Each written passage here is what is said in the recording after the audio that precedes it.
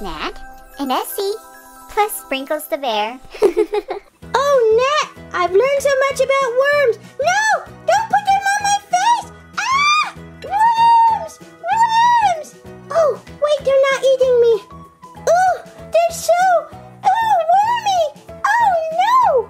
Ah, worms. One scoop of red wigglers coming right up. Red wigglers?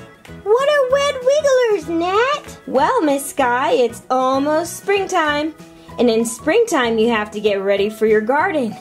So, I'm going to show you my compost bin. And inside of my compost bin, I've got a whole bunch of ooey gooey worms. Wow! Miss Nat, can you teach me how to make a compost bin? Look at all of these worms! But Miss Nat, it's snowing outside. How are you going to make a compost bin? Aren't the worms going to not make it? Look at all that snow! That's a great question, Miss Skye.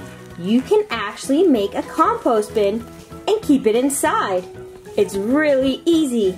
And this way, you can have really great dirt to make a wonderful garden. So you're telling me these ooey gooey things help break down food and waste and you can put the dirt into your garden to make a beautiful garden? Let's do it! Miss Nat, let's learn how to make compost. Well, Miss Skye, just looking at this bowl alone, you can already see a few things that go in a compost bin. I have broken down paper, leaves, I've got vegetable scraps, and of course, my worms that help break it down. When you make a compost bin, you need 30 to 1 parts.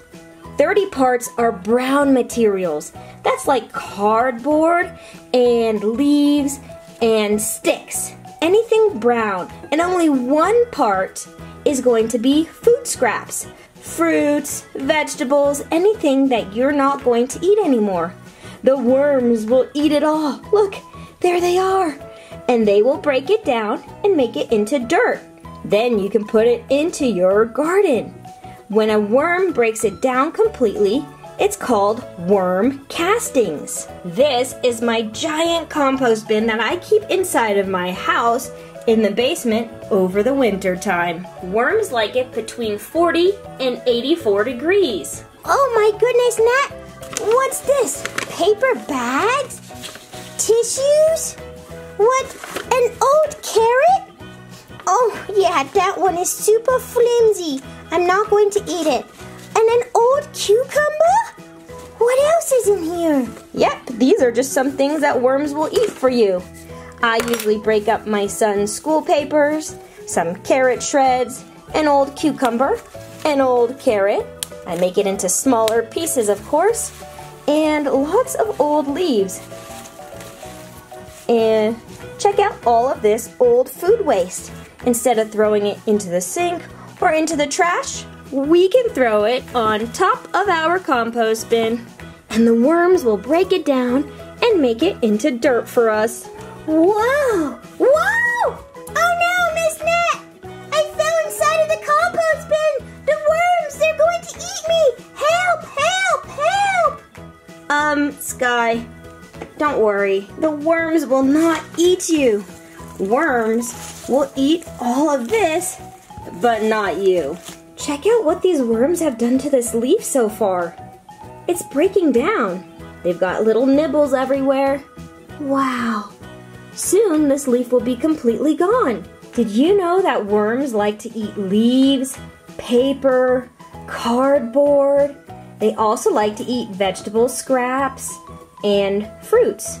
Something I don't put into my compost bin are citrus fruits. Anything that's super, super acidic, like oranges. And they also don't like onions and peppers. If you leave out onions, peppers, and citrus from your compost, it should do pretty well. One of their favorite things to eat is coffee grounds. And you know what else they like to eat? Noodles and oats. Yep, our worms do love to eat oats. I'm going to put my worms back into their compost pile and let's watch them wiggle their way all the way down to the bottom. Let's make a nice little hole where the dirt starts, where the compost is really moist. Right there. Time to add our worms in. And let's watch them wiggle, wiggle, wiggle.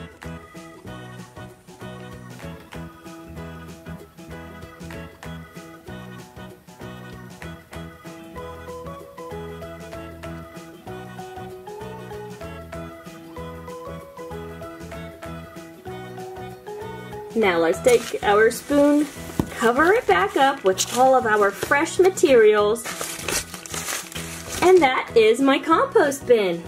I put it back into the basement. Sometimes I spray it with some water so it's a little bit moist but not too moist. And the worms will eat this all up. And in a few months, I'll have some really nice rich dirt for my garden. Did you know that worms have rings on their bodies? What are the rings on their bodies called? And did you know that worms don't have eyes or legs? How are worms supposed to know where to go? My goodness, you worms! You're supposed to have eyes and legs! Skye, worms are not scary. Look at them. The rings on their body are called segments. Segments, okay? And did you know that worms can actually sense light? They don't have arms or legs, but they can wiggle and go under things. And they sense light, so they like to hide. Worms like it very dark. If you watch them for a few seconds, you'll see that they start to hide. Oh, wormies, you're starting to hide. Just watch them a few seconds. They'll probably all slither right under here. And when we lift this up in a second, they're all going to be hiding right down here. Wormies! Oh, Nat, I've learned so much about worms. No, don't put them on my face. Ah, worms, worms. Oh, wait, they're not eating me. Oh, they're so, oh, wormy. Oh, no. Ah, worms. So what we know about worms is they can break down food and make it into dirt. When they do it, it's called castings, and it's super good for your garden. Woo! You can keep a compost bin in your basement as long as your basement is 40 to 84 degrees. Hmm. I have another question, Miss Nat. I'm sorry, I'm sorry. I have so many questions about worms and composting. Have you ever seen a baby worm before? Like, what does a baby worm look like? Well, that's a great question. A baby worm is just much smaller. They hatch from a cocoon, and they're really tiny. I wonder if we can find any today. I don't think I see any baby worms in here. They're very thin and very small.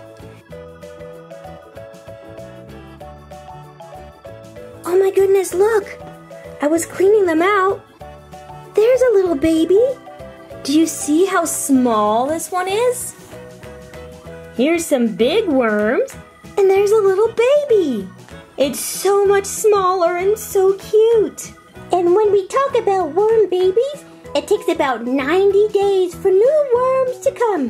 But when they keep making more worms all over the place, every 90 days we could get thousands of worms. There's so many types of worms, thousands of them. And they're so fun to find. And they're so good for your garden. I hope you learned something about worm composting today. You can take old papers, cardboard, leaves, and you can take food scraps and make your own compost. The worms will eat it up, and soon you'll have some good looking dirt.